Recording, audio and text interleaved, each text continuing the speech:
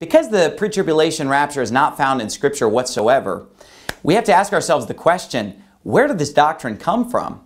Well, first of all, it was never taught before the year 1830 that there's any record of whatsoever.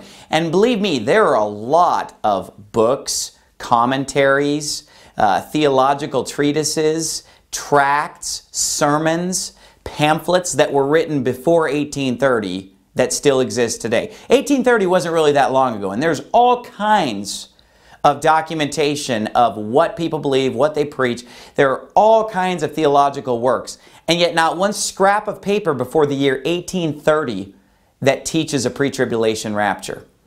Now, I've seen a lot of people will try to pretend that someone taught it before 1830. Like I, I Googled the history of the pre-tribulation rapture, and there were all these websites, people saying, I've got proof that someone taught it before 1830. But when you click on it, it's a joke because uh, I clicked on most of them and they just said, well, here's people who taught premillennialism before 1830. Well, we're not talking about premillennial. We're talking about pre-tribulation rapture.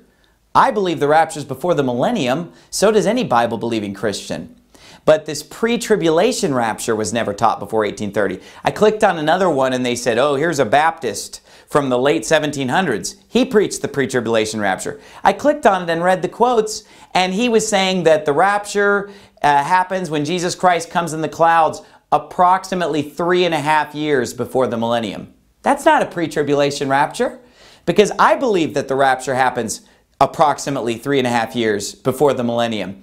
But that is not pre-tribulation doctrine because the pre-tribulation rapture teaches that Christ comes in the clouds seven years before the millennium.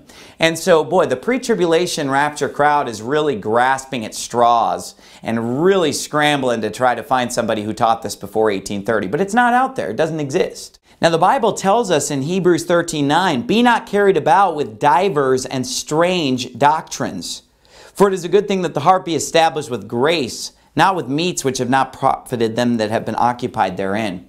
And so the pre-tribulation rapture is a diverse and strange doctrine because it's, it's completely foreign to Scripture. That's why no one even thought of it until around the year 1830. There's no evidence that anyone even dreamed of such a thing because it is so foreign to Scripture.